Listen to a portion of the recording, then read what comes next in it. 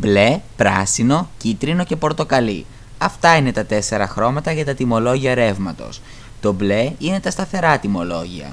Το πράσινο είναι τα ειδικά. Το κίτρινο είναι τα κειμενόμενα και το πορτοκαλί είναι τα δυναμικά.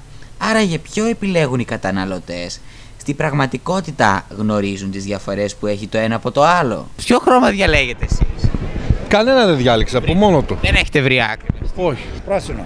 Πράσινο. Ναι. Το πράσινο.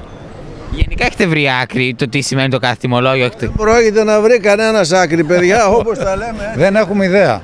Το πράσινο που έχετε επιλέξει γνωρίζετε τι ακριβώς προσφέρει. Όχι. Ό,τι οι εταιρείες, ό,τι πουν. Εμείς είμαστε άβουλα όντα. Δεν έχουμε ιδέα. Τι είναι το κίτρινο, τι είναι το κόκκινο και τι είναι το πράσινο. Δεν ενδιαφέρεται καθόλου. Δεν έχετε βρει άκρη με αυτό το θέμα. Δύσκολο. Τα άφησα όπως ήταν. Αυτόματα ναι. Ναι. Να ρωτήσουμε λίγο για τα τιμολόγια ρεύματος. Ποιο χρώμα διαλέγετε; Εγώ κίτρινο έχω αγόρι. Ναι.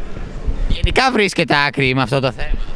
Μπορντοκλωμένα πράγματα. Τι διαλύω χρόνο, τι μου στέλνουν. Δεν έχετε βρει άκρη με αυτό το θέμα. όχι, δεν το βρίσκω, δεν με ενδιαφέρει να πούμε.